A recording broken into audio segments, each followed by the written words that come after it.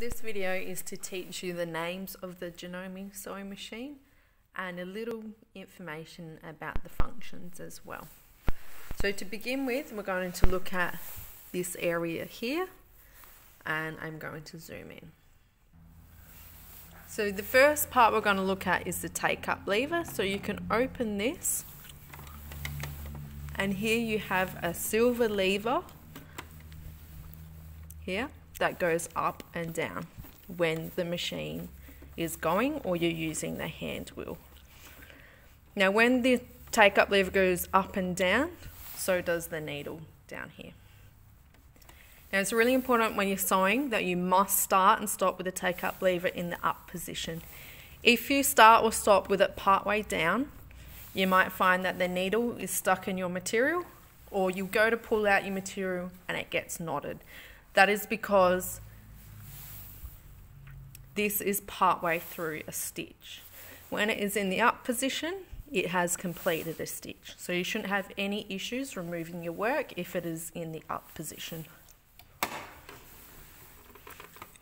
The next thing we're going to look at is the presser foot.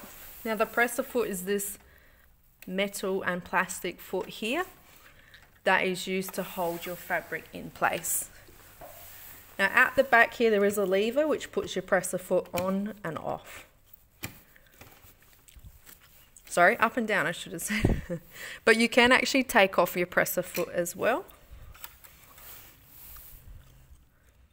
That's what the presser foot looks like and you can change your presser foot to different presser foot for different functions. This is an A, this is just for regular sewing, so that's what we'll be using.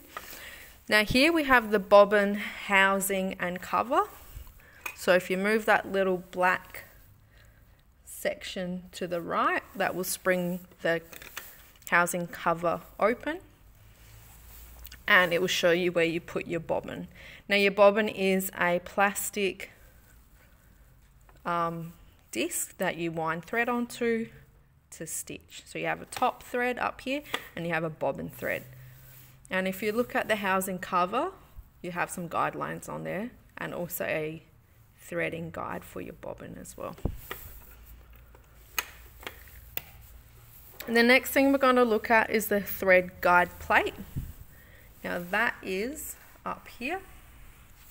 It's a little bit hard to see, but there's a little plate in here that guides your thread into the right position. Next we have our pattern selections.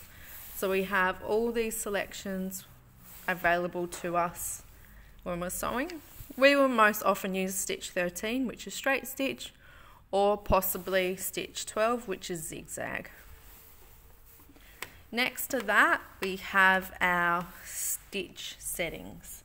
So the top bar that slides across is the width selector. So this is your stitch width. And a really easy way to remember it is you've got this little zigzag here. It's kind of like a W. You can remember that by remembering its width because the zigzag's like a W. And so that changes the stitch when it stitches from side to side. With straight stitch, it's set to zero. Down the bottom, we have the stitch length selector. So that changes the length of the stitch to make it smaller or bigger. This is usually set on 2.5 for straight stitch. And then at the front of the machine down the bottom, we have the reverse button. So that's this one here. And what you do when you're sewing is you hold it in and it makes your stitch go backwards. So when you start sewing and finish sewing, you always use a reverse stitch because you want to lock in your thread. If you don't use the reverse stitch, your stitch line you've created could come undone easily.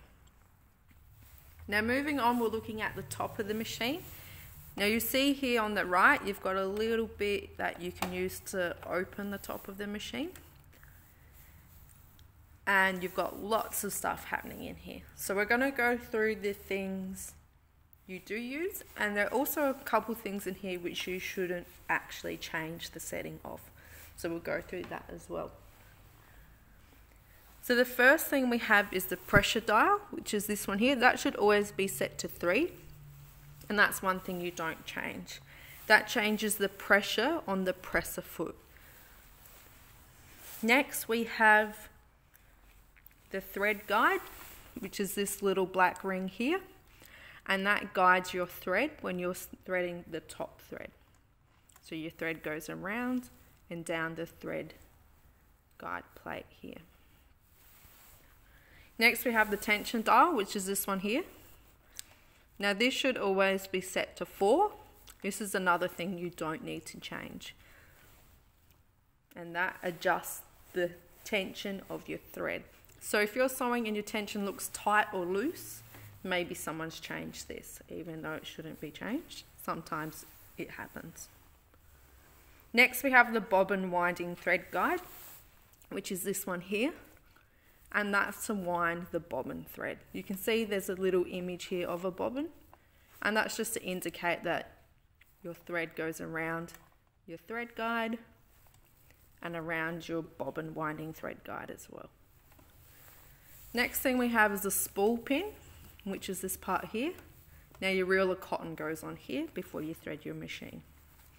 Once you put your spool, your reel of cotton on your spool pin, you use the thread stopper to lock it into place. Next you have your bobbin winder, which is here. Now that clicks over and back. Obviously it clicks over when you're winding your bobbin. When you're not winding your bobbin, it should be in the left position. Now that's everything you need to know on the top. Now we're going to look at the side of the machine. Now looking at the side of the machine, this part here is called the hand wheel. And when you turn that, that makes the take up lever and the needle go up and down. In the middle of that, you have the clutch knob, which go, comes out. And what that does is similar to the clutch in a manual car, it disengages the engine of the sewing machine to allow you to wind the bobbin. Because you don't want to be winding the bobbin while your sewing machine is still sewing. You need the two to work separately. Now, if you've got a newer machine, you won't have this. And the bobbin will wind when you click it over. If you remember up the top, you click that over to the right.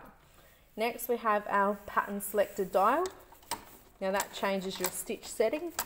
So like I said, normally we, we use straight stitch, which is 13, but you may want to change it to another stitch. We also have a power outlet here, which is where our foot pedal cord and power cord gets plugged in, which looks like this, and an on off button. So those are the names of the machine parts and their basic uses.